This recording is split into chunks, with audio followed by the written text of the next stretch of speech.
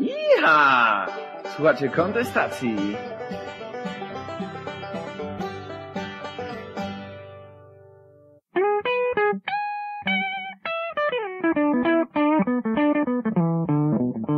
Opowieści pastora przedsiębiorcy. Witam serdecznie. Opowieści pastora przedsiębiorcy. Z tej strony Andrzej Burzyński. Więcej o mnie i o mojej działalności na stronie www.koach.pl John Grisham w swojej książce Ława Przysięgłych opisuje taką sytuację. Toczy się rozprawa, nie będę wnikał tam w wielowątkową akcję, natomiast toczy się rozprawa i w pewnym momencie przekupiony świadek, którego przez długi czas przygotowywano do wszystkich odpowiedzi, które ma udzielić na zadawane pytania, w pewnym momencie yy, pada pytanie, które spodziewano się, tak? Czyli pytanie o to, czy, czy ktoś mu zapłacił za to, że on występuje jako świadek, bo on zgłosił się sam, praktycznie nie musiał.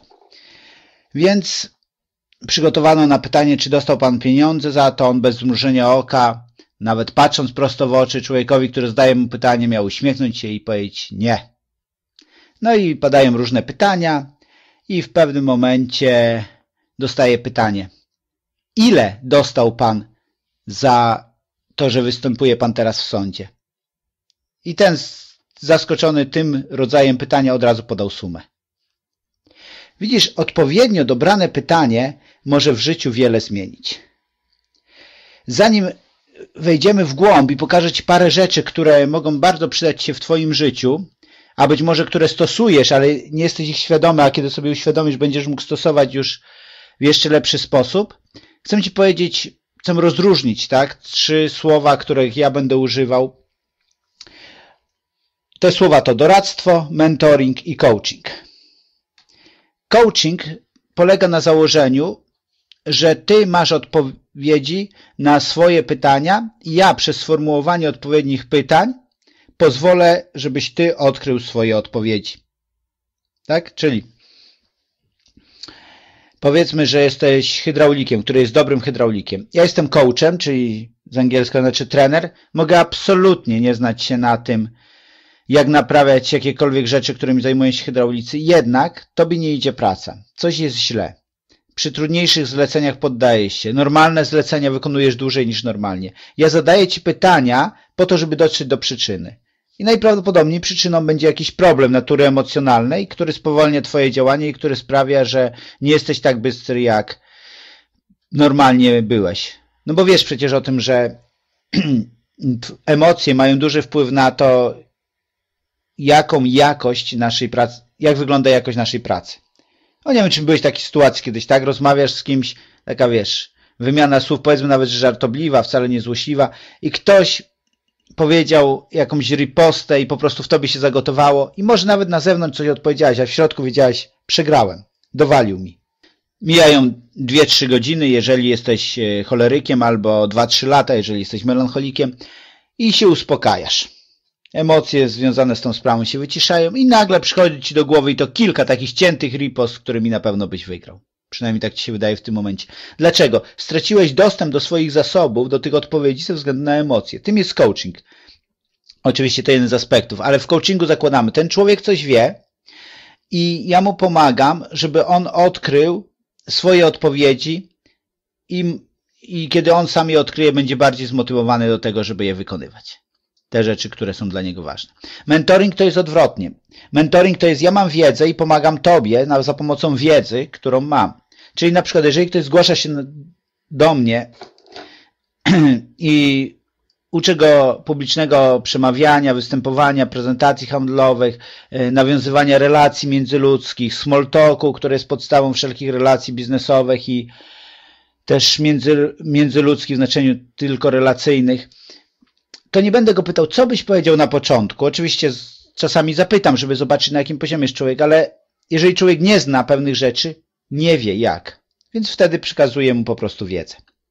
Natomiast przez doradztwo rozumiem, że przeplata się zarówno coaching, jak i mentoring. Czasami o coś pytam, czasami coś doradzam, więc w taki sposób ja to definiuję. Oczywiście ty możesz definiować inaczej, inni definiują też inaczej i to jest wszystko w porządku, ale ponieważ ja prowadzę tą audycję, więc chciałem, żebyś zrozumiał, na czym polega, na czym polega definicja słów, których będę używał. Powiem Ci o czymś, czego na pewno nie słyszałeś, chyba że słyszałeś, bo raz już na ten temat mówiłem, ale nie tutaj w audycjach, tylko na slocie. Gdzie powstał coaching? Kto był pierwszym coachem? Bo tak naprawdę wszystko inne to są plagiaty i podróbka.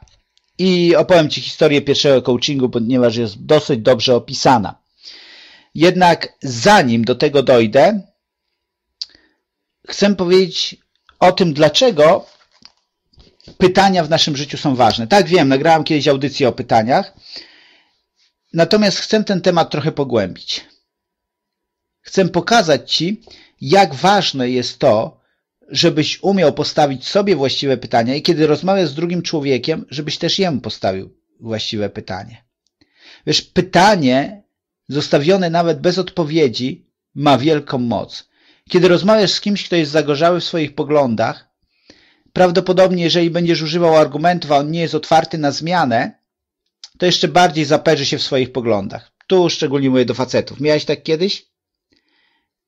Wiesz, kłócisz się z kimś, dyskutujesz, nazwijmy to ładnie, dyskutujesz z kimś i oczywiście on nie ma racji, bo on nigdy nie ma racji, lub ona. Jesteś tak pełen swoich poglądów i nagle w pewnym momencie ten drugi człowiek coś mówi. I do ciebie zaczyna docierać, że być może on ma nawet rację. Ale wtedy, kiedy zaczęło to do ciebie docierać, po prostu ponieważ emocje, tak, są silne i ty nie pokażesz, że jesteś słaby, więc zaczynasz szukać jeszcze silniejszych argumentów i w końcu tak bardzo przekonujesz nawet samego siebie, że jednak ty miałeś rację. Jeżeli to znasz, to zakładam, że jesteś średnio normalnym człowiekiem, podobnie jak ja. Też uważam, że jestem średnio normalnym człowiekiem, czyli jeżeli coś się przydarza mi, to zakładam, że przydarza się też większości innych ludzi. Więc jeżeli z kimś rozmawiasz, że ktoś jest zapiekły w swoich poglądach, nie jest otwarty na dyskusję, rozmowę, rozważanie, tylko taki zaciekły, wiecie, wiesz, taki trochę, trochę w stronę fanatyzmu, to jeżeli będziesz próbował go przekonać argumentami, nie uda ci się. Ale jeżeli zasiejesz wątpliwość przez pytanie, to naprawdę może dokonać wyłomu. Może sprawić, że chociaż przez moment, chociaż przez moment on może się zacznie zastanawiać nad tym, że może nie jest do końca tak, jak myślał. I bardzo ciekawa rzecz, pokażę to na przykładzie Jezusa. Tak? Jezus ma 12 lat, co pewnie nam nic nie mówi. 12 lat to co on tam? Podstawówkę kończy, tak? Natomiast w tamtej kulturze 12-13 lat to już był wiek dorosłości, takiej dojrzałości nasza osiemnastka. Poszedł z rodzicami do Jerozolimy, tak, na coroczne święto, odpowiednik. Próbuję to, wiesz, ubrać w naszą kulturę, więc wszelkich teologów i znawców Biblii z góry przepraszam. Więc poszedł na święta wielkanocne z rodzicami do Częstochowy, znaczy Jerozolimy. I wiesz, w pewnym momencie się gdzieś zagubił. No i rodzice sobie myślą, wracają, wiesz, nie samochodem, tylko na pieszo. Myślał sobie, a pewnie jest gdzieś tam chodzi z rówieśnikami, może jakąś dziewczynę poznał, no różne rzeczy mogli myśleć. Natomiast po trzech dniach zobaczyli, że nigdzie go nie ma. No to już trochę wzbudziło niepokój. Wrócili do Jerozolimy i w Ewangelii Łukasza, drugi rozdział, 46 wiersz jest napisane.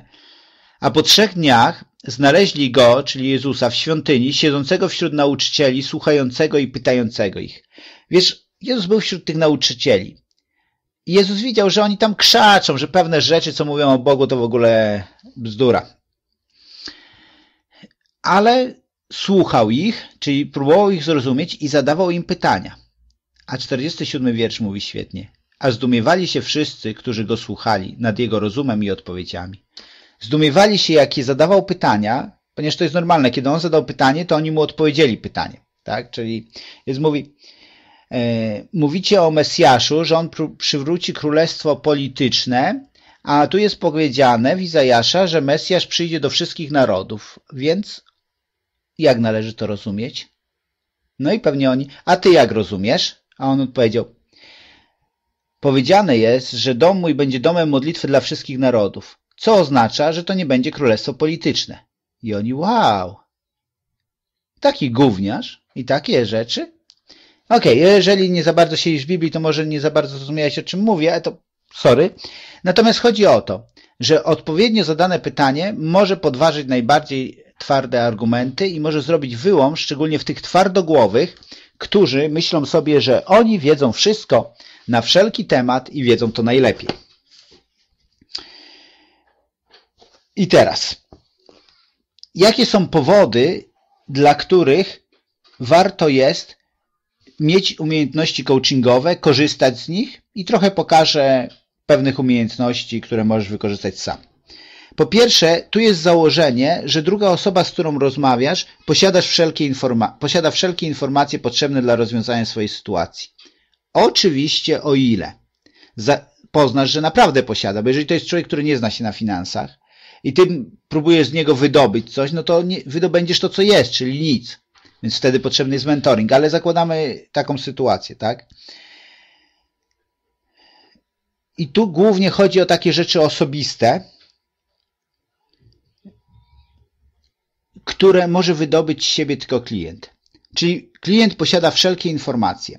To jest oczywiste dla mnie, tak, po latach pracy z ludźmi, że kiedy ktoś przychodzi i zaczyna o czymś rozmawiać, to tak naprawdę często za tym kryje się jeszcze głębszy problem i ten człowiek często nie potrafi tego głębszego problemu sam odkryć, albo odkrył go, ale obawia się o nim powiedzieć. Czyli na dwa sposoby klient może do Ciebie podejść jako do coacha. Po pierwsze, może sprawić, że Ty poczujesz, yy, że problem jest inny i przez pytania doprowadzisz go do tego, że on to, też sobie to uświadomi, a z drugiej strony być może on potrzebuje czasu, żeby Ci zaufać, żeby na końcu albo w pewnym momencie coachingu powiedzieć Ci, jaki jest prawdziwy problem. Więc Pierwsze założenie, kiedy z kimś rozmawiasz, że wiesz, kumpel ma problem, czy dziewczyna, e, stawiaj pytania, pomóż mu, nie śpisz się z odpowiedziami, najlepiej w ogóle ich nie udzielaj, ponieważ to nie jest cel coachingu.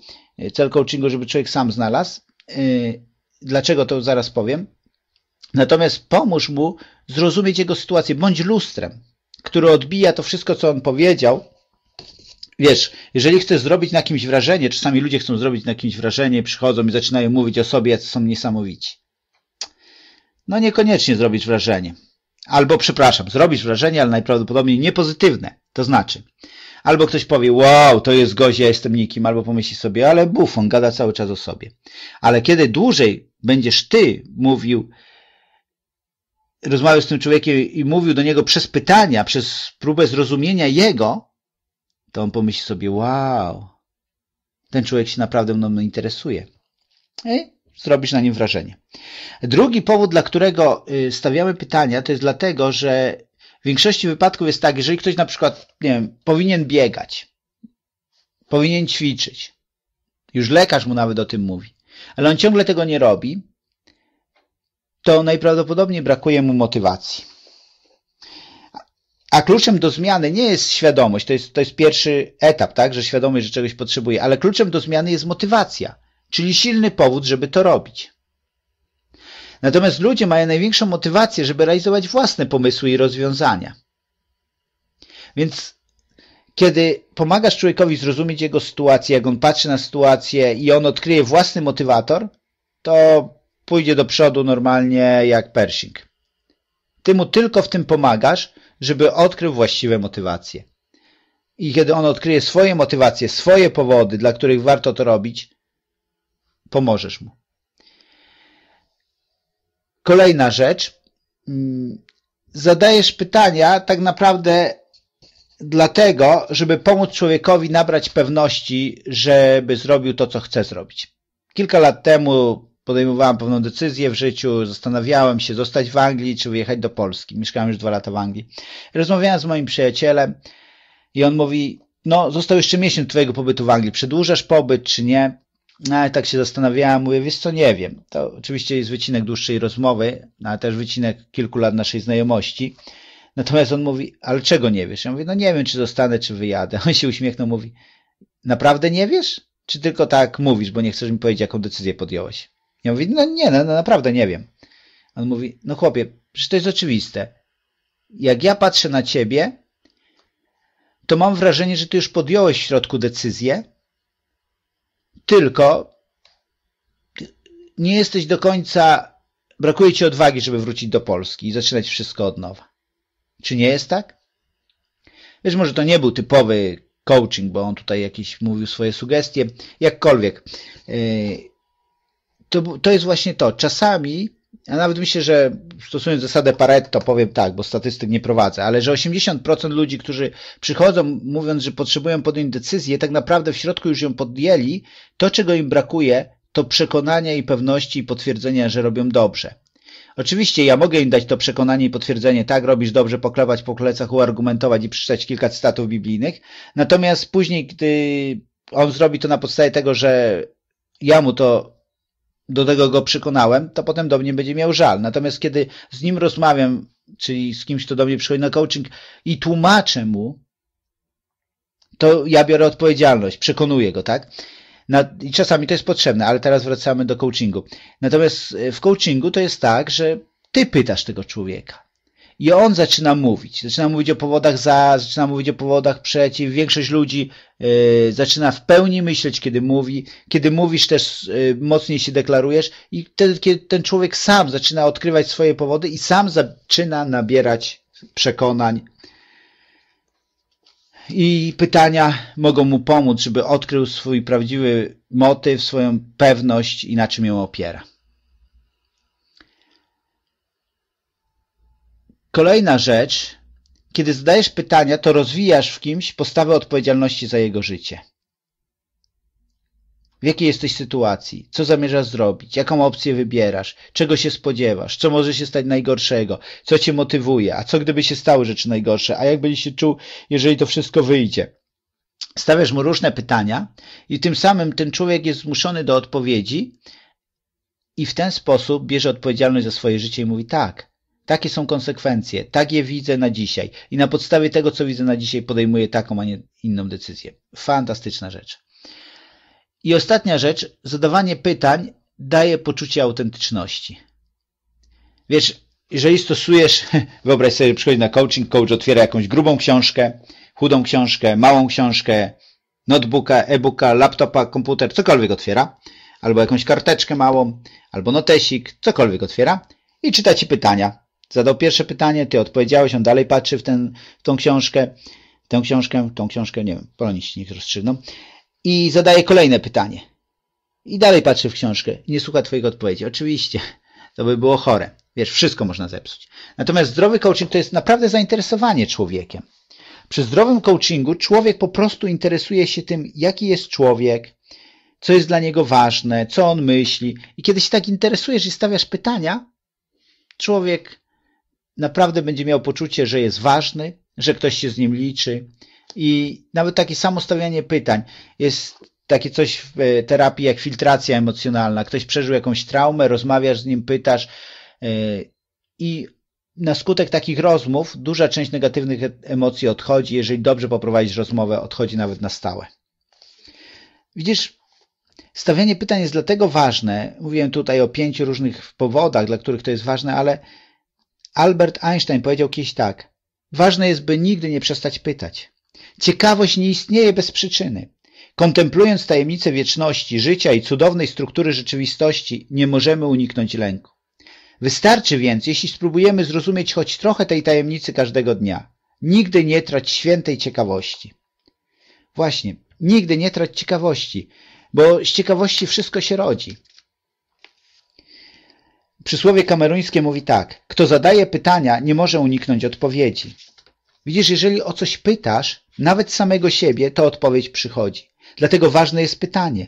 Nie jest dobrym pytaniem, dlaczego znowu mi nie, się nie udało? Ponieważ to pytanie często mówi, kryje ze sobą, bo jestem do niczego. Tylko jest pytanie, co mogę zrobić, żeby mi się udało? Zupełnie inne pytanie. Ukierunkowuje cię na rozwiązanie, a nie na problem. George Bernard Shaw powiedział kiedyś tak. Niektórzy ludzie postrzegają rzeczy w ich naturalnym stanie i zadają sobie pytanie, dlaczego? Ja marzę o rzeczach, których nigdy nie było i mówię sobie, dlaczego nie? Inna sentencja dotycząca pytań. Zawsze piękniejszą odpowiedź dostanie ten, kto zada piękniejsze pytanie. E, na biznes blogu uczelni e, Lazarskiego, tak, mówiąc językiem e, wujka Google Lazarskiego. Y, umieszczam od jakiś czas y, wpisy tam na blogu. I ostatnio umieściłem taki wpis mówiący o tym, dlaczego stawiamy pytania. Jest to cały wpis składający się z pytań. Był kiedyś podobny na mojej stronie, natomiast e, teraz generalnie tam umieszczam swoje wpisy. Jak jesteś zainteresowany, możesz przyglądać. I to jest ciekawe. Stawiając pytania możemy wiele, wiele, wiele osiągnąć. Wiem, mówiłem, że pierwszy coaching w historii świata, pierwszy coaching i pierwszy coach i to jest zapisane i dobrze udokumentowane i to jest bardzo ciekawe i do tego dojdę, ale po kolei. Po kolei. Wiesz, nasze pytania kierują naszym życiem. To jest bardzo ważna rzecz, ponieważ człowiek rośnie do poziomu swoich pytań i ważne jest, wiesz, bo tu mówię o stawianiu pytań, może ci skojarzyć, że coaching to jest y, jedynie wtedy, mm, kiedy osoba coacha pomaga osobie coachowanej znaleźć odpowiedź. Ale też często może być dokładnie odwrotnie. Ty możesz przyjść do kogoś, kto wie więcej i zadawać mu pytania, nie po to, żeby jemu pomóc, ale sobie. W Biblii mamy taki opis w drugiej księdze Kronik w dziewiątym rozdziale, gdy królowa Saby usłyszała wieść o Salomonie, wybrała się do Jeruzalemu z nader licznym orszakiem na wielbłądach obieczonych wątnościami, wielką ilością złota i drogimi kamieniami, ażeby wypróbować Salomona przez stawianie zagadkowych pytań. Przyszedłszy do Salomona, rozmawiała z nim o wszystkim, co miała na sercu. Salomon zaś odpowiadał na wszystkie jej pytania i nie było takiej sprawy, na którą nie umiałby dać odpowiedzi. Widzisz, ona była zdeterminowana, żeby usłyszeć odpowiedzi, dlatego przyszła i dała dużo podarunków dla niego. Chciała wkupić się w ten sposób jego łaski i stawiała mu wiele, wiele pytań. I była zdumiona odpowiedziami, była zaskoczona, była zachwycona wręcz. I kiedy go posłuchała, dalsze wersety mówią tak, mówi do niego, prawdą jest to, co słyszałam w mojej ziemi o Twoich sprawach i o Twojej mądrości, lecz nie wierzyłam tym słowom, nie wierzyłam, aż przybyłam i zobaczyłam na własne oczy, ale i tak nie powiedziano mi połowy o wielkości Twojej mądrości. Przewyższasz bowiem pogłoski, które o Tobie słyszałam. Szczęśliwi Twoi ludzie, szczęśliwi ci Twoi słudzy, którzy stale stoją przed Tobą, że mogą słuchać Twojej mądrości. I co się dalej dzieje? Po czym podarowała królowi 120 talentów złota, ogromną ilość wonności, drogi kamieni i tak dalej. Mówi, to wszystko jest warte tej ceny. Ale co się stało dalej? Wiersz 12 mówi. Król Salomon zaś podarował królowej Saby wszystko, czego zapragnęła, co sobie życzyła, znacznie więcej niż to, co ona przywiozła królowi. Potem wybrała się w drogę powrotną i odjechała do swojej ziemi wraz ze swoimi dworzanami. Widzisz, tak się dzieje, kiedy przychodzisz do osoby, która wie więcej, zadajesz jej pytania i tak naprawdę otrzymujesz zawsze dużo więcej niż to, co ty wniosłeś. Dużo więcej niż twój poświęcony czas, niż wysiłek związany z tym, że musiałeś przyjechać, cokolwiek musiałeś pokonać. Warto jest właściwym ludziom stawiać właściwe pytania. I teraz pozwól, że postawię Ci cztery pytania. To może Ci pomóc. Taki wiesz, coaching gratis. Jakie są Twoje pytania? Co Cię interesuje? Czego szukasz? Kto ma odpowiedzi dla Ciebie?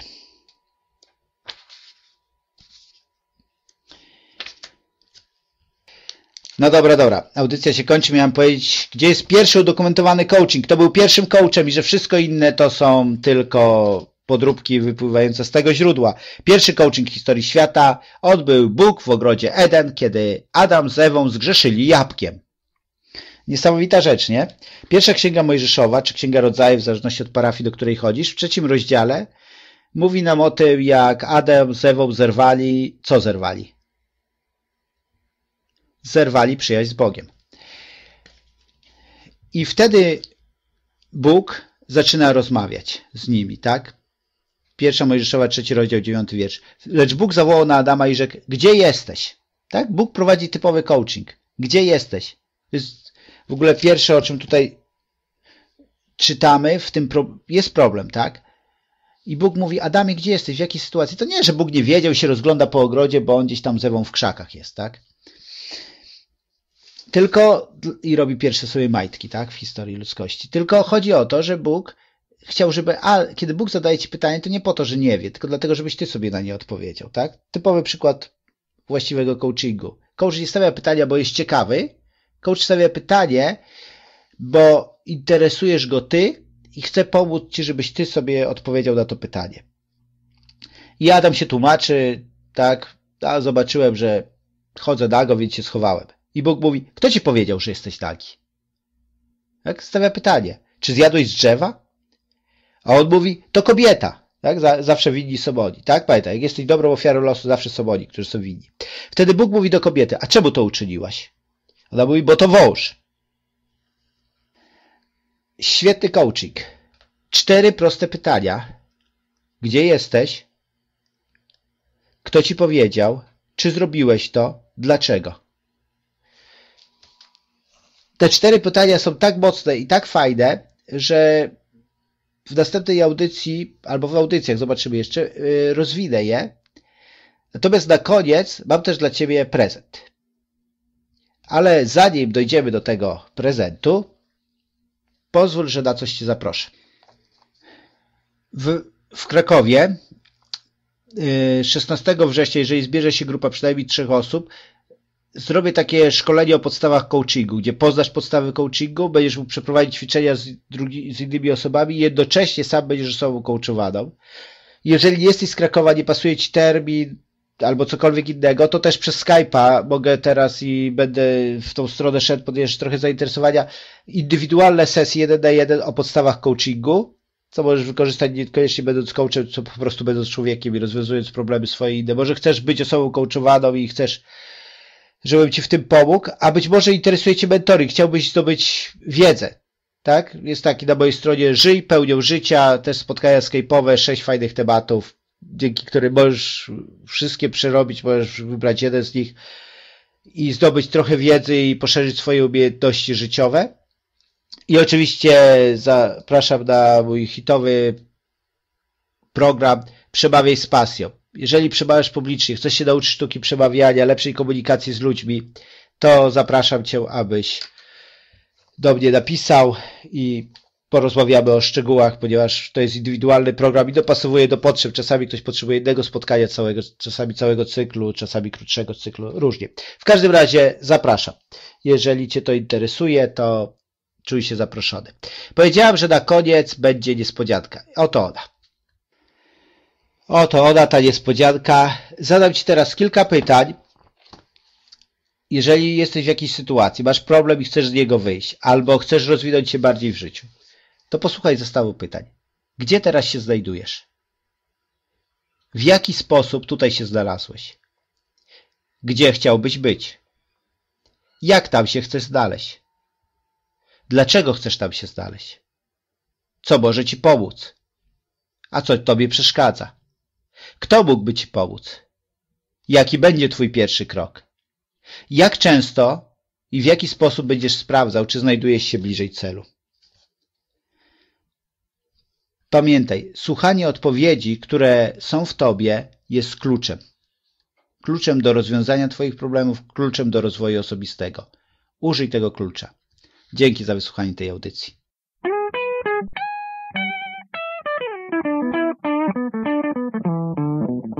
Wysłuchałeś opowieści pastora przedsiębiorcy. Ja! Słuchajcie kontestacji.